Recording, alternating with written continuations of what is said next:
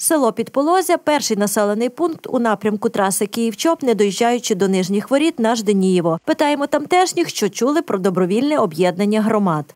Я навіть не знаю. Не чув нічого. Чула про об'єднання громади, але в нашому селі ще так не говорили.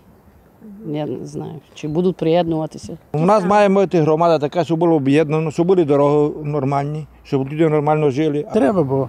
Тут і сільська рада, та і ніч робить і нічого. Ніч. Шкоже, ні, е, садик, ніч, нічого. Я на, я на сільська рада шість і все.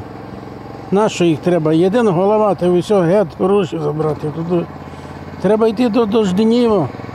Підполозя, Верхня Грабівниця та Ялове три гірські села відносяться до однієї сільської ради, яка дотаційна. У мене на території сільської ради є одне з найбільших підприємств Волинського району, це КП «Агрошляхбуд», кар'єр. Зараз асфальтний завод поставили, але е, жодної копійки, окрім оренди землі, «Агрошляхбуд» нам не платить, тому що згідно нового бюджетного кодексу, який прийняла Верховна Рада, плата за надра йде в обласний бюджет, а прибутковий податок з фізичних осіб йде у районний бюджет. І фактично у мене на території сільської ради одне з найбільших підприємств, а я получаю лише оренду землі і різні скарги від людей, що там ну, взриви, порох, е, машини, автомобілі, дороги і так далі. Вихід із цієї ситуації сільський голова бачить у створенні фінансово спроможної громади. Якщо, якщо Жденієво нас прийме, то не проти, ми можемо розглянути таке.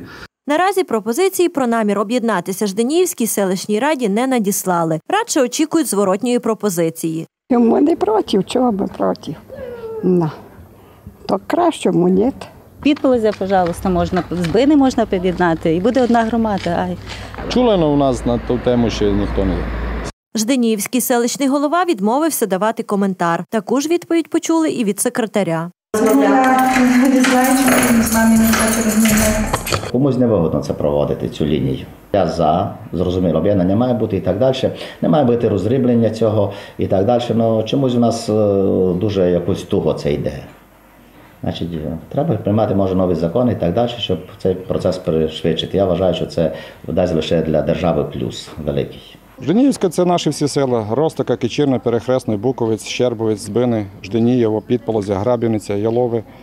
Так, це такий регіон, який Жденієво би могло фінансово, утримати. Дійсно, першим чином має бути е, фінансове підґрунтя. Так.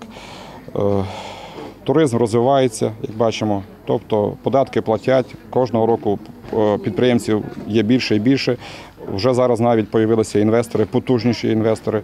Варто додати, жодної ОТГ на Воловеччині не створено. Далі обговорення у населених пунктах району діло так і не пішло. У мене точно таке бачення, як є в експертів, які давним-давно вже розробили карту схему Закарпаття, як громади формуються.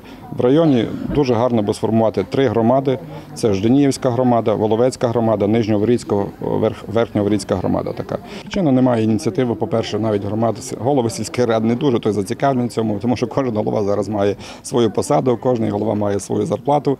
Вони думають, що зараз їх втратять. Вибори робити ніхто теж не хоче з голів сільських рад, тому що вони втрачають свої робочі місця.